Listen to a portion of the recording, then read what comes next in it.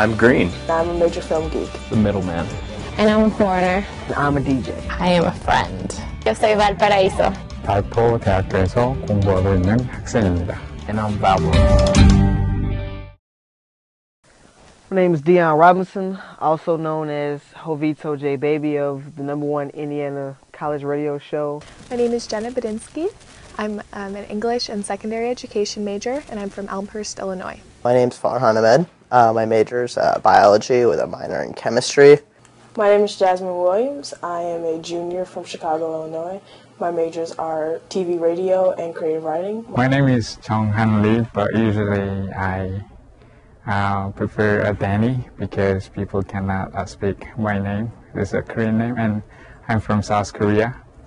And uh, my major is an international service major and Chinese. My name is Claire Fletch. I am a senior political public relations major from St. Louis, Missouri. My name is Wesley Strickland. I am a communications major. I'm from Naperville, Illinois. My name is Ana Arteta. I'm from Quito, Ecuador. I study digital media and I have a business minor. My name is uh, John Hutchinson. I'm a 1L here at uh, Valpo University. My name is Yan Ling Zhong. This is my official name and my English name is Blair. And then um, currently I'm a digital media student in here in I mean, in graduate school. I'm Zach Huey. I'm a junior environmental science major. I'm from Hickory, North Carolina, and I'm green. And I'm a DJ. And I'm a foreigner. People refer to me as the middleman. I am a friend. I'm a traditionalist. And I'm a major film geek. Being a law student uh, has, you know, I've, I've had very many new experiences. Um, I made a friend who dropped out of law school, and that was pretty tough to go through. Um, being in Valpo itself, um, it's been a different experience because it's a small town, small community. I think um, an experience that changed me like that would be coming to study at the United States. You know, it's just a different uh, aspect, just being by yourself, and you know, because there's no one telling you like that you can go or you can't go to parties, and there's no one really telling you what to do. It's just all up to you and all you being responsible for your actions. So. And I think one of the first experiences I had that really made me who I am as a major film geek was Com 100. Uh, we just talked so much about the business in itself and the things that go into digital media and TV radio and all over again I think I fell in love with the, the art of digital media. When I started my basic pre-med classes, I knew a few uh, general biology classes, chemistry classes, and I think uh, after taking a couple of those, I really found like I guess I found my place. I got to know a lot of the professors on campus. I got to know the students. And it's like you had the same group of kids with you consistently. So I like uh, I found my place in biology. I went to Australia last year, and I studied sustainability and environmental action.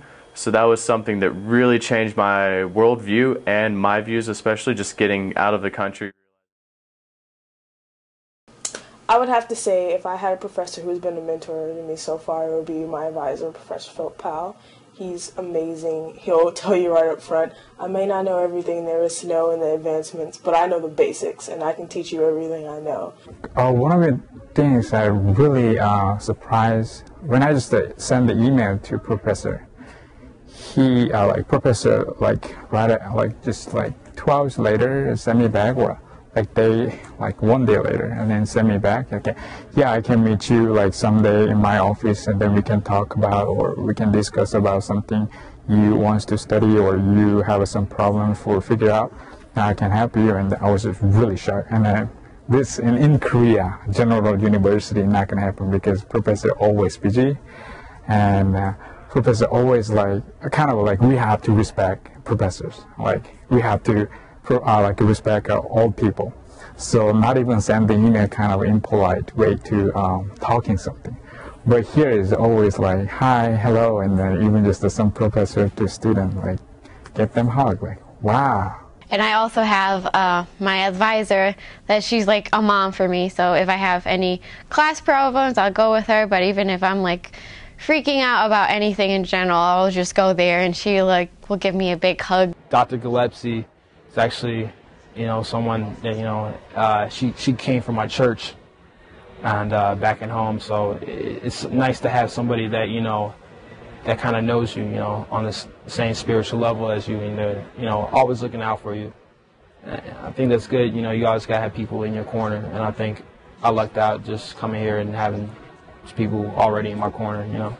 Uh, Dr. Brower is my English and education professor, and she's been really great um, because she's just helped me, you know, really realize what teaching is and how to, uh, you know, treat each student individually. Yeah, I actually had it with Holly and uh, Holly Singh, and uh, he's the director, I think, of this multicultural center, and um, I know I've known him since fifth grade. He used to tutor me in algebra when I was back then, and uh, then he started helping with my SATs, my ACTs, and he's very pro Valpo since he graduated here, and so did his wife. And um, I guess he convinced me that I need to be part of Valpo, but it was a good thing that he brought me here. And I still check in with him every week or two. He always emails me if I miss a class or something. He keeps an eye on me, so it's nice to have him there. I definitely have felt many different communities through Christ College and through even you almost like have a mini community in each different class that you have. When I got here, I was a little bit scared those first couple weeks, but I immediately found that this was a community here that I made friends really quickly, people that are very similar to me and people that are very different to me. But especially with the freshman dorms, it's just a, it's a really good feel to have here where everyone has their door open. You're just meeting tons of people right off the bat. And it is a small enough campus that you can you see people you know every day. After I come here, I think people are really kind.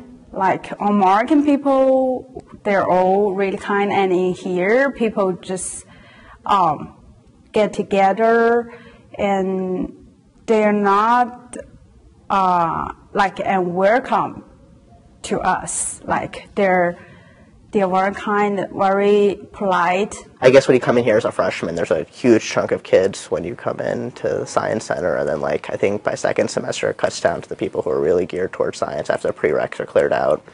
And uh, I think I've been with those kids since freshman year, and I'm a junior, and I have pretty much the same kids in nearly all my classes, so I like that.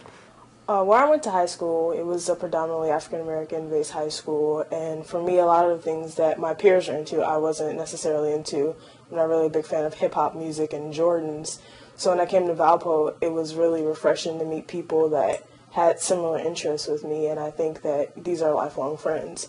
Living so far away, this technically is my family for four months, um, or for both semesters of the year, because I can't go and hang out with my families or my friend back home. So um, I have my sisters. My sisters uh, will take me home with them for spring break or Easter break or Thanksgiving.